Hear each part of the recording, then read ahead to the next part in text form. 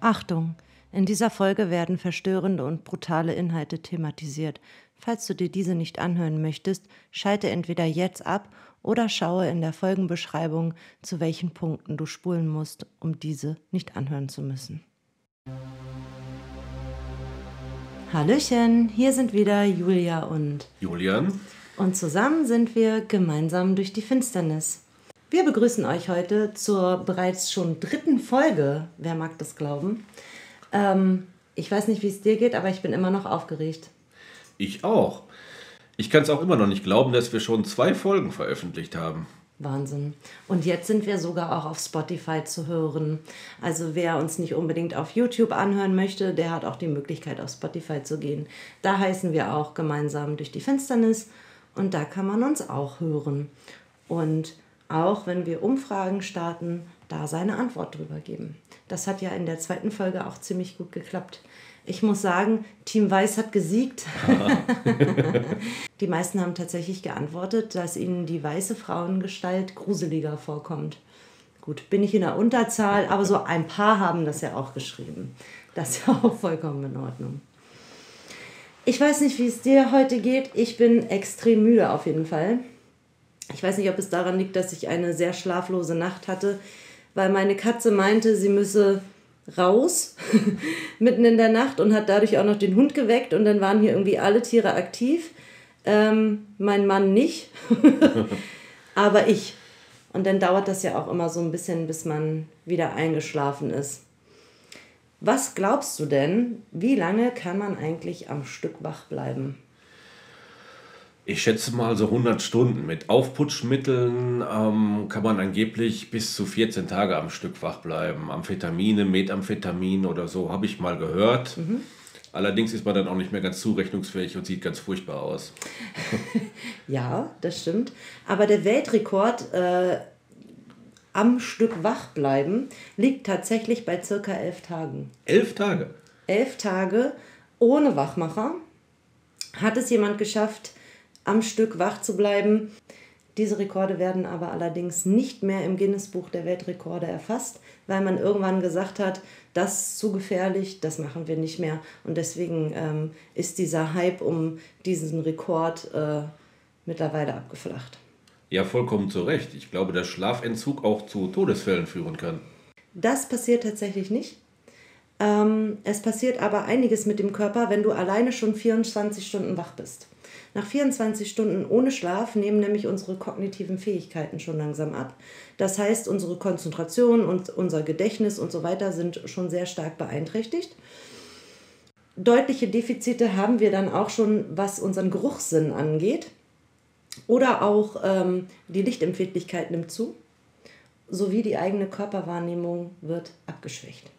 Man ist übrigens auch schneller gereizt. Das habe ich auch, wenn ich ähm, wenn ich nicht elf Tage am Stück wach bin. das habe ich auch schon, wenn ich einfach zwei, drei Stunden zu wenig geschlafen habe. Ähm, tatsächlich passiert es nach 24 Stunden auch schon, dass das Immunsystem deutlich geschwächt ist. Also man ist infektanfälliger. Und ähm, die Körpertemperatur sinkt. Also man fängt an zu frieren. Das kennt, glaube ich, jeder, wenn einem wenn man müde ist, ähm, übermüdet, dann fängt man an zu frieren, dann ist einem kalt, dann sagen Frauen immer Hunger, Hunger Pipi, kalt.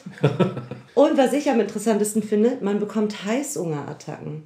Also man hat richtig Lust auf Fastfood sozusagen, ähm, weil das Belohnungssystem im Gehirn irgendwie falsch gesteuert wird und dadurch hat man Heißhungerattacken, wenn man zu wenig schläft.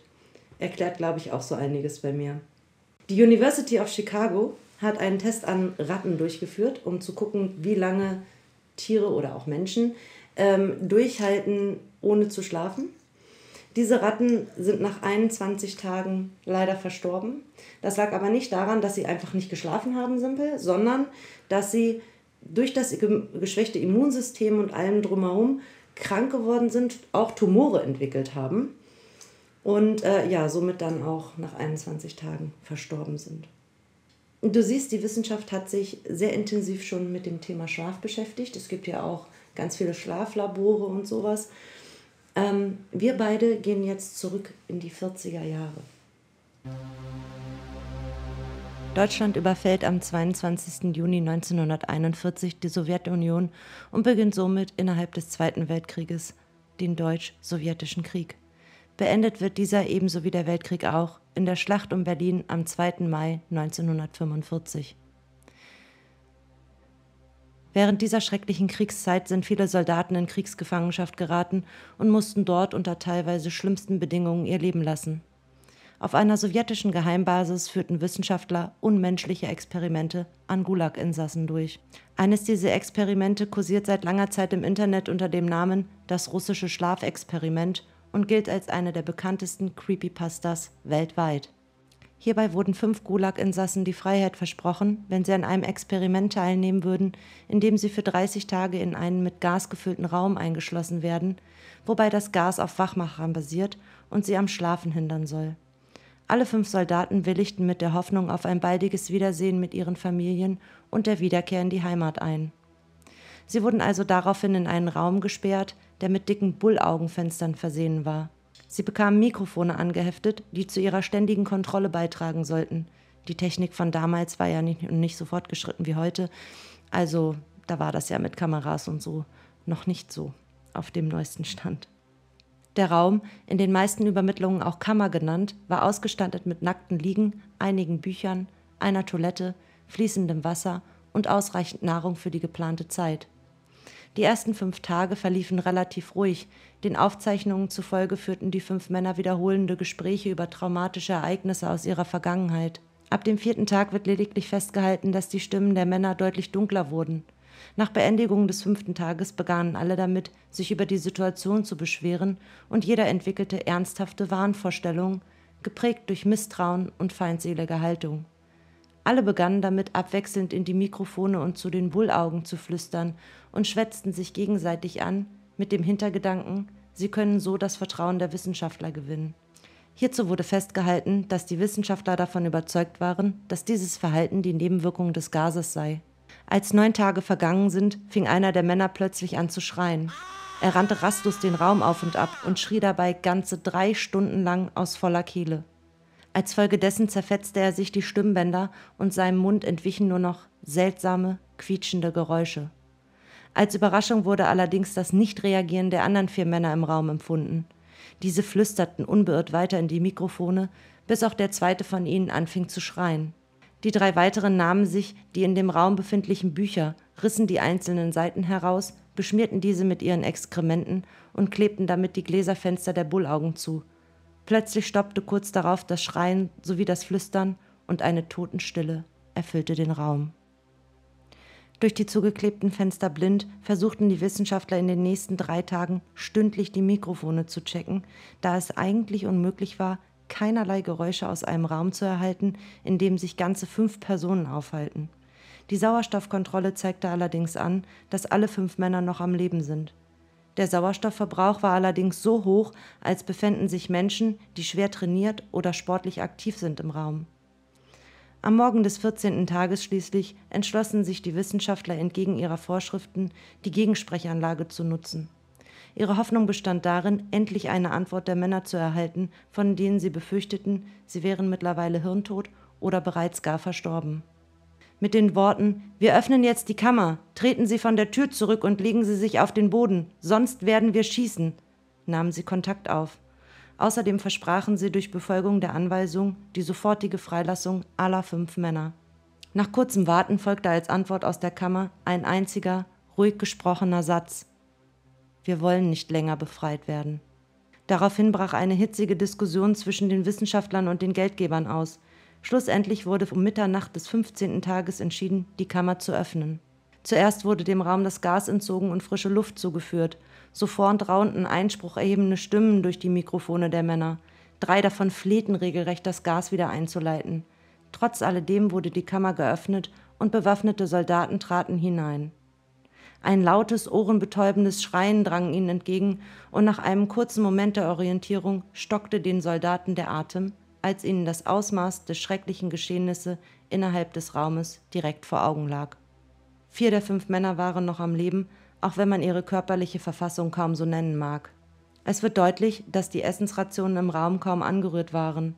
Der bereits verstorbenen auf dem Boden liegenden Person wurden große Stücke ihrer Haut am Oberschenkel und von der Brust gerissen, um mit diesen den in der Mitte des Raumes befindlichen Abfluss zu verstopfen. Aus diesem Grund war der gesamte Raum mit circa 10 cm hohem Wasser gefüllt, welches durch die Verbindung mit Blut eine leuchtend rote Farbe aufwies. Allen vier überlebenden Männern fehlten große Stücke der Haut mitsamt der darunterliegenden Muskeln. Ihre Hände waren besonders im Bereich der Fingerspitzen verletzt, so dass die Vermutung aufkam, sie haben sich das Fleisch vom Körper mit den eigenen Händen heruntergerissen. Die Position sowie die Winkel der Wunden gaben Aufschluss darüber, dass jeder seine Wunden selbst zugefügt hatte. Hinzu kam, dass sich die Männer alle Bauchorgane unterhalb des Brustkorbes herausgenommen und neben sich auf dem Boden drapiert haben. Adern und Organe waren allerdings noch intakt. Obwohl Herz, Lunge und Zwerchfell noch im Brustkorb lagen, war die Haut so weit zerfetzt worden, dass man diese offen sehen konnte. Beim weiteren Betrachten war zu erkennen, dass die herausgenommenen und neben den Männern aufgereihten Verdauungsorgane im Verdauungsprozess waren. Da allerdings kein Essen von Lebensmittelvorrat fehlte, ließ sich daraus schließen, dass was sie dort verdauten, ihr eigenes, vom Körper gerissenes Fleisch war. Obwohl die meisten der dort stationierten Soldaten diverse Spezialausbildungen hatten, verließen diese fluchtartig die Kammer und weigerten sich vehement, diese erneut zu betreten. Währenddessen fuhren die vier Männer weiter mit dem Schreien fort und boten verzweifelt darum, das Gas wieder einzuleiten. Sie hatten panische Angst vorm Einschlafen. Trotz der Weigerung, die Kammer erneut zu betreten, erhielten die Soldaten den klaren Befehl hineinzugehen und die Männer aus dem Raum zu entfernen. Bei diesem Versuch kämpften die Männer so stark gegen die Soldaten an, dass ein Soldat sein Leben verlor, weil ihm die Kehle herausgerissen wurde. Ein anderer wurde schwer verletzt, als ihm durch Bisse in den Oberschenkel die große Arterie durchtrennt wurde. Fünf weitere verloren ebenfalls ihr Leben, da sie durch diese dramatischen Erlebnisse den Freitod wählten. Einer der vier Männer wehrte sich so stark gegen die Soldaten, dass ihm während des entstandenen Kampfes die Milz riss. Die Wissenschaftler wollten ihn beruhigen und spritzten ihm die zehnfache Dosis Morphium. Seinen erbitterten Kampf gegen das Einschlafen führte er trotzdem fort, wobei er sich wie ein aufgescheuchtes, in die Ecke getriebenes Tier verhielt. Durch die Verletzung war er irgendwann so ausgeblutet, dass sein Herz zum Stillstand kam. Trotzdem schrie und zuckte er noch für weitere drei Minuten lang. Dabei versuchte er immer noch alle in seiner Nähe befindlichen Personen anzugreifen und wiederholte stetig ein einziges Wort. Mehr. Die übrig gebliebenen drei Männer wurden auf eine medizinische Station gebracht, immer weiter bettelnd, man solle ihnen das Gas zurückgeben. Der am schwersten Verletzte wurde sofort in einen OP-Saal gebracht, um dort seine Organe zurück in den Körper zu platzieren. Während den Vorbereitungen stellte man allerdings entsetzt fest, dass er immun gegen das Betäubungsmittel war, welches ihn in den Schlaf versetzen sollte. Ein Narkosegas sollte also die Lösung sein, woraufhin er anfing, sich so stark gegen seine Fesseln zu wehren, dass die fast zehn Zentimeter dicken Lederriemen an Armen und Beinen anfingen zu reißen. Selbst ein 100 Kilogramm schwerer Soldat, der zusätzlich versucht hatte, den Mann zu fixieren, kam kaum gegen seine starken, zappelnden Bewegungen an. Ein wenig mehr also des Narkosegases half, dem Mann zu narkotisieren, und sobald seine Augenlider flackerten, stoppte abrupt sein Herz. In der anschließenden Autopsie wurde festgestellt, dass das Blut des Mannes dreimal so viel Sauerstoff enthielt als bei normalen Menschen. Außerdem hatte er sich selbst während des Kampfes gegen die Fesseln insgesamt neun Knochen gebrochen. Der nächste Überlebende war der, der sich durch sein stundenlanges Schreien die Stimmbänder zerfetzt hatte. Durch die verloren gegangene Fähigkeit zu sprechen, war es ihm nur möglich, durch heftiges Kopfschütteln deutlich zu machen, dass er keine Narkose möchte. Als schließlich jemand vorschlug, die OP ohne Narkose durchzuführen, nickte er zustimmend zu. Während der gesamten sechs Stunden langen OP, in der die Abdominalorgane ersetzt und mit der restlichen Haut abgedeckt wurden, reagierte der Mann in keinster Weise. Wiederholend sagte der behandelnde Arzt, es ist unmöglich, dass der Patient noch am Leben ist. Eine assistierende Krankenschwester berichtete, dass der Patient jedes Mal zu lächeln begann, als sich ihre Blicke trafen. Nach Beendigung der OP begann der noch auf dem Operationstisch liegende Mann laut zu schnauben und verzweifelt zu versuchen, ein Wort herauszubekommen. Der Chirurg ließ einen Stift und einen Zettel bringen, um so die Möglichkeit einer schriftlichen Kommunikation zu geben. Die Nachricht des Mannes war simpel. Schneid weiter. Mit den anderen zwei Überlebenden ist man ebenso verfahren. Eine OP ohne Narkose. Doch aufgrund ihres heftigen Lachens musste ihnen ein Lähmungsmittel gespritzt werden. Sobald dies nachließ, bettelten sie weiter nach dem Wachmachergas. Auf jede gestellte Frage zu ihren Verletzungen und warum sie sich diese zugeführt hatten, kam immer die gleiche Antwort ich muss wach bleiben. Nach den Operationen wurden alle drei Männer weiterhin fixiert in die Kammer zurückgebracht, wo sie darauf warteten, was mit ihnen geschehen wird. Zwischen den Forschern und den Geldgebern des Militärs brach ein Streit aus. Den Wissenschaftlern wurde Versagen auf ganzer Linie vorgeworfen, und als diese darauf plädierten, die drei Männer einzuschläfern, drohte der Streit zu eskalieren. Ein befehlshabender Offizier sah stattdessen Potenzial darin, das Experiment fortzuführen und wollte herausfinden, was geschehen würde, wenn man das Gas wieder in die Kammer leitet. Trotz heftiger Proteste wurden die Wissenschaftler überstimmt und die drei Männer wurden für den weiteren Verlauf vorbereitet. Sie wurden an ein EEG angeschlossen und ihre Armfixierungen wurden so gepolstert, dass eine längere Nutzung nicht zu Schäden führt. Unter der Hoffnung, das Gas würde bald wieder eingeleitet werden, waren die drei kooperativ und ließen alles zu, was mit ihnen angestellt wurde, obwohl der lange Wachmacherentzug mittlerweile deutliche Anzeichen zeigte. Die Männer kämpften darum, nicht einzuschlafen. Ihre Techniken zum Wachbleiben waren sehr unterschiedlich. Der eine summte ununterbrochen laut vor sich hin, der Stumme drückte mit aller Macht gegen seine Fußfesseln und der letzte hielt seinen Kopf einige Zentimeter vom Kissen hoch und blinzelte ununterbrochen rapide. Der Mann, der seinen Kopf über dem Kissen schweben ließ, war der erste, der an das EEG angeschlossen wurde. Seine Gehirnströme zeigten überraschende Resultate an.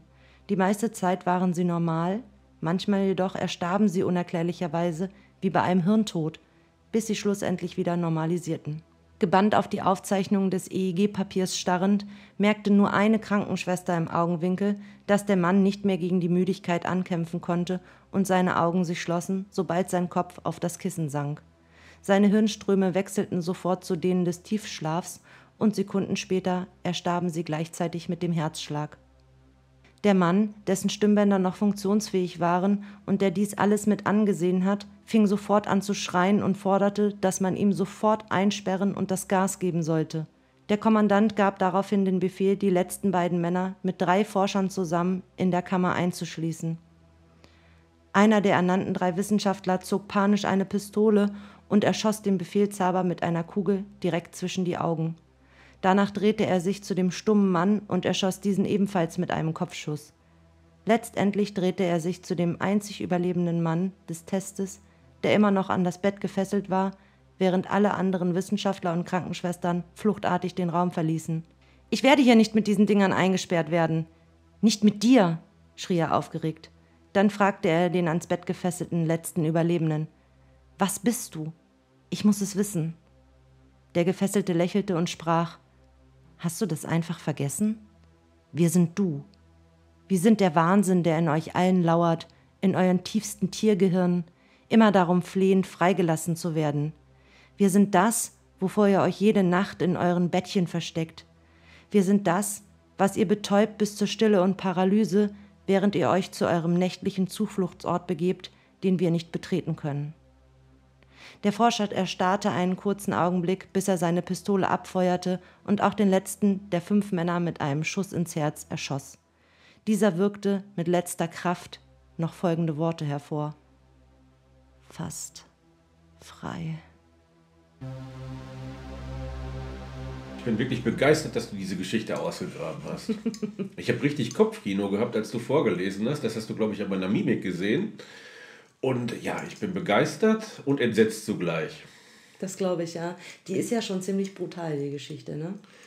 Also deswegen auch die Triggerwarnung am Anfang gleich, weil ähm, ja, wer da einen schwachen Magen hat, der sollte sich das lieber nicht anhören. Ne?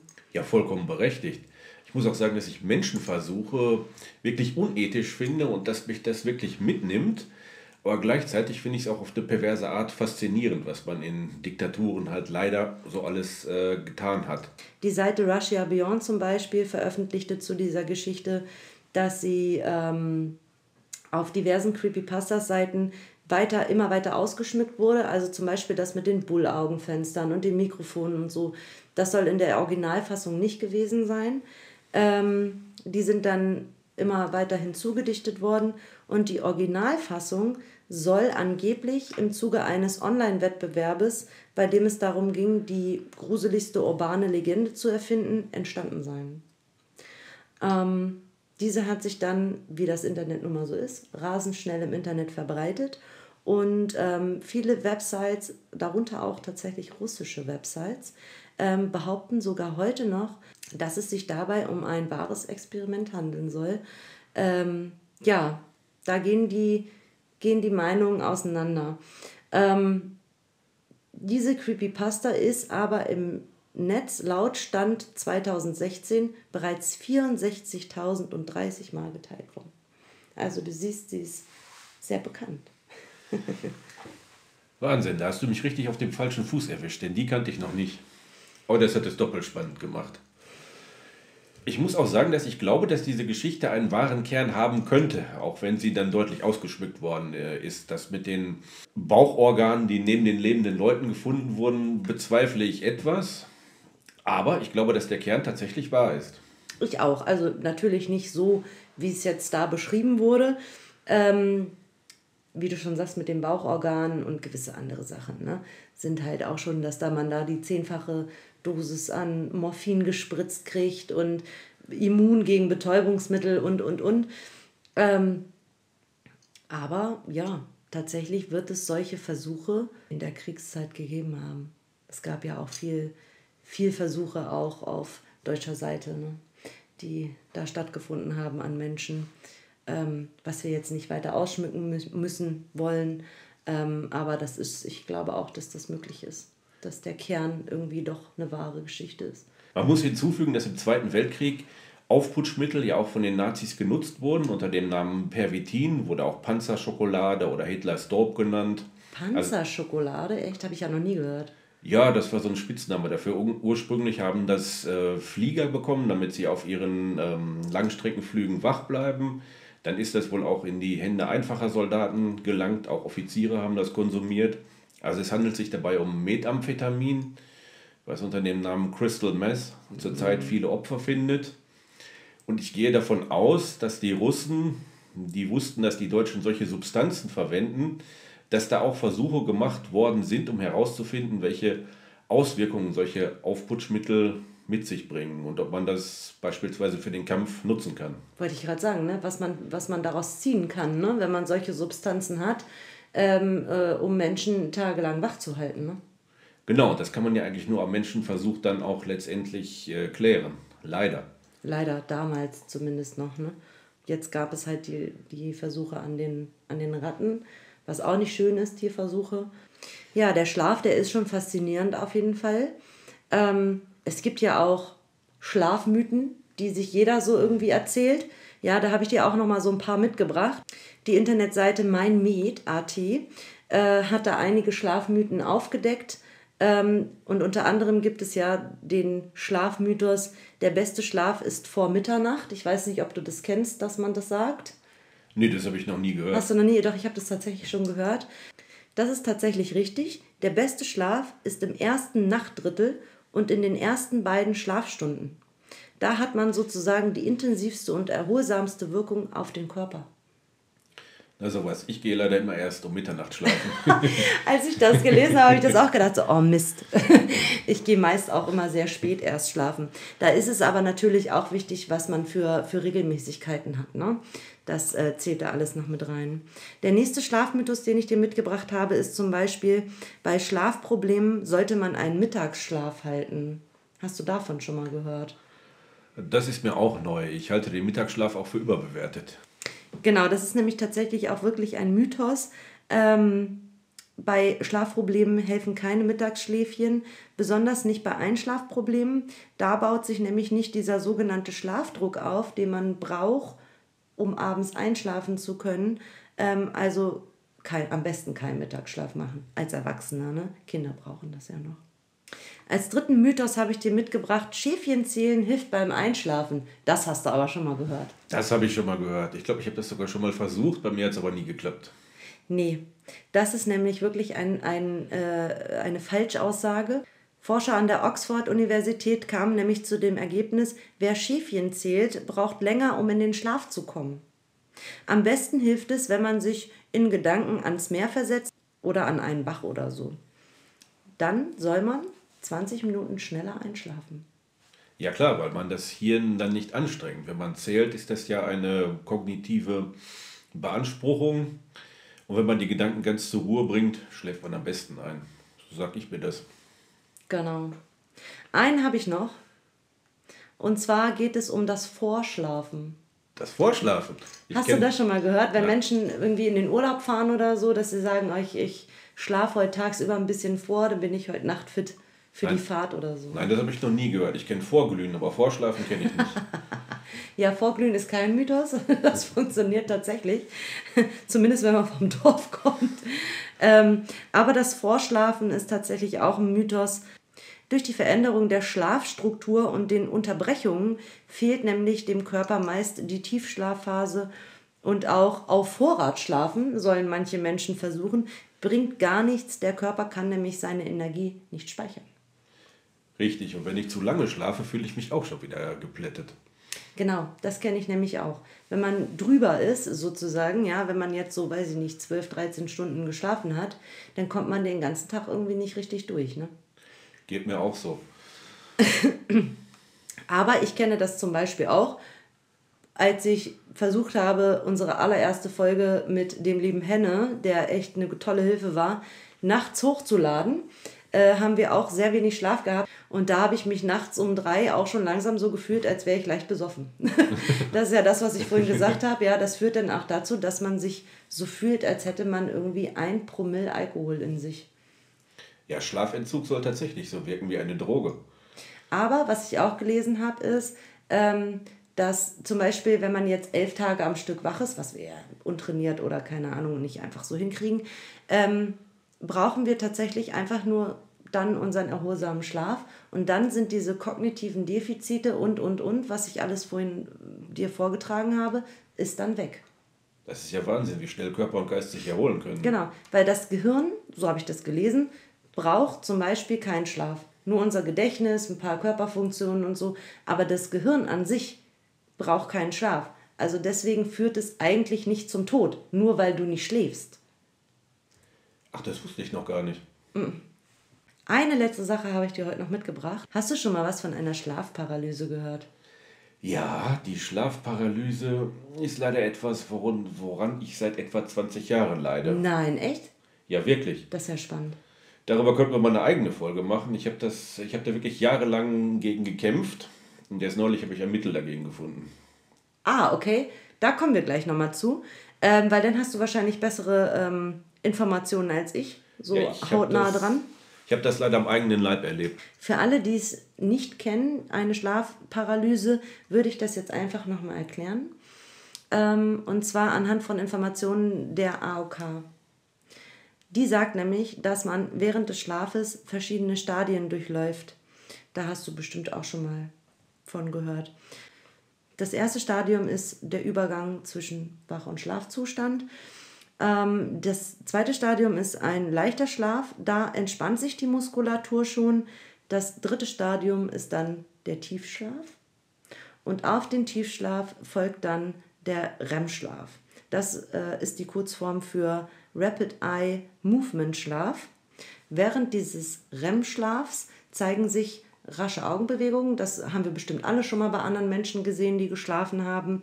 Unsere Hirnaktivität ist tatsächlich erhöht und da beginnt man dann auch zu träumen.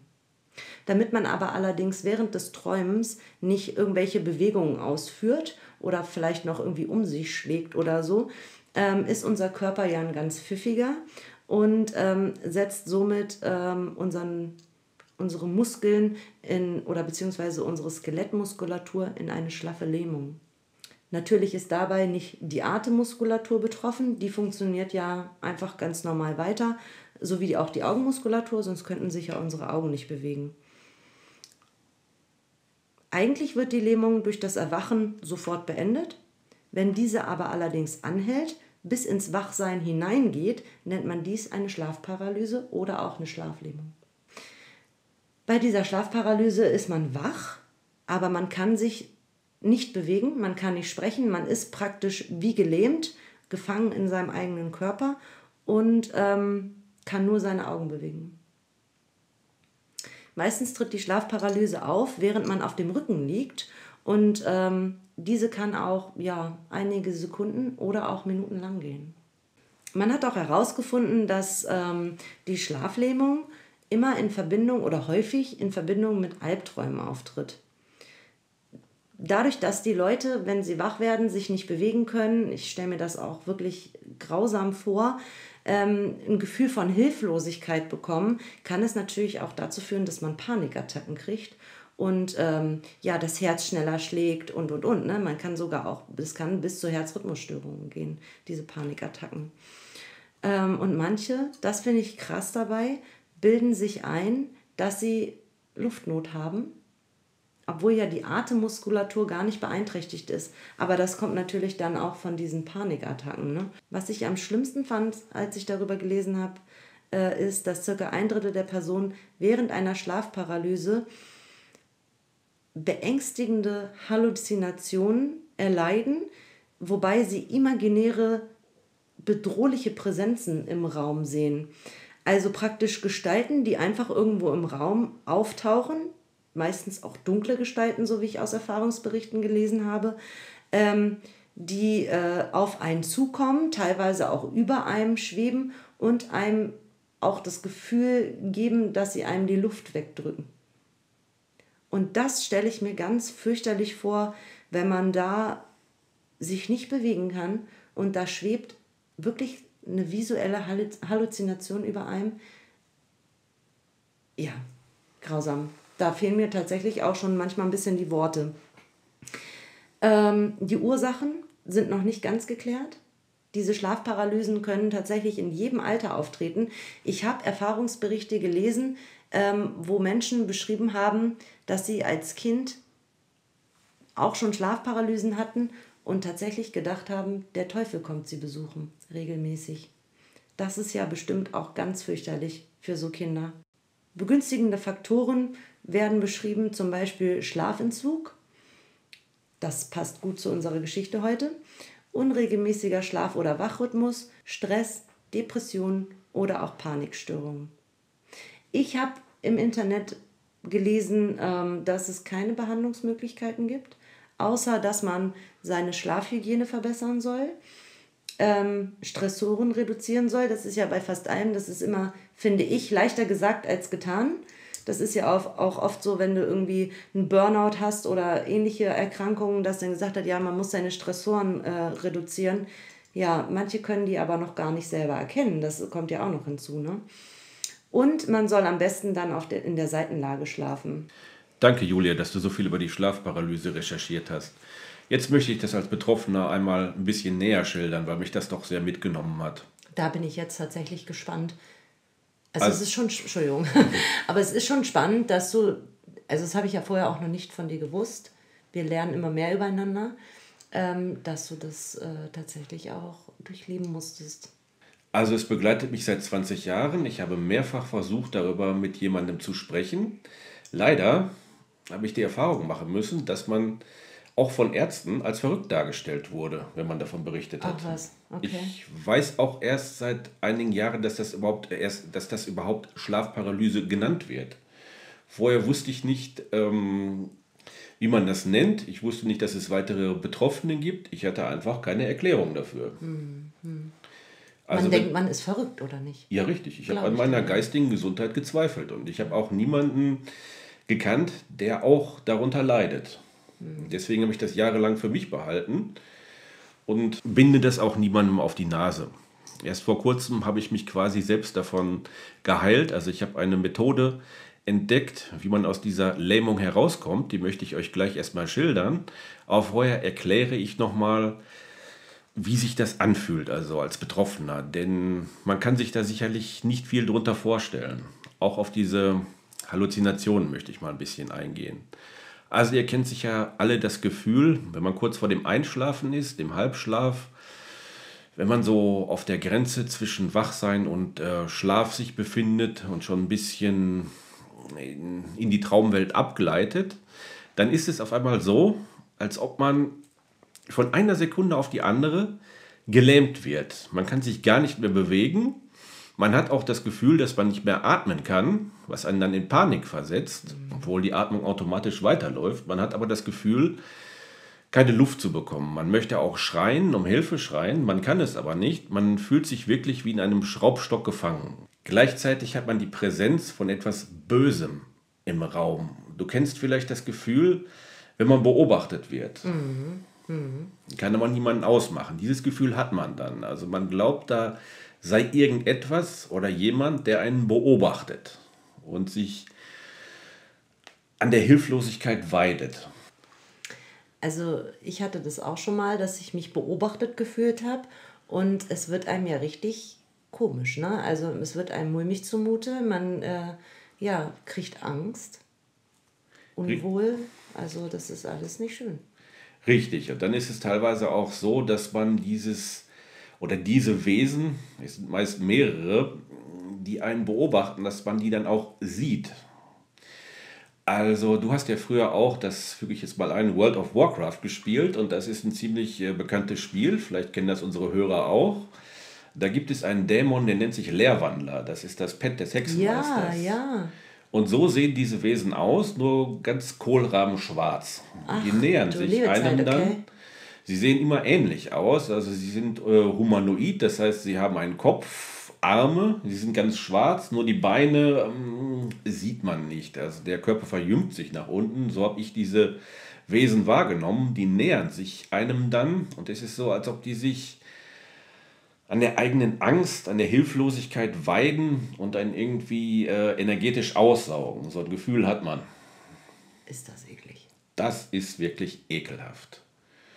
Das ist teilweise auch so, dass man das Gefühl hat, dass man dabei schwebt. Also ich hatte einmal das Gefühl, dass ich einen Meter hoch über meinem Bett schwebe, mich nicht bewegen kann und diese Wesen halt um mich herum sind und mich quasi aussaugen. Das habe ich auch gelesen. Das hat auch jemand geschrieben. Ähm der davon berichtet hat, der das hatte. Und der hat auch geschrieben, ähm, dass er sich ja praktisch gefühlt hat, als würde er über seinem Körper schweben.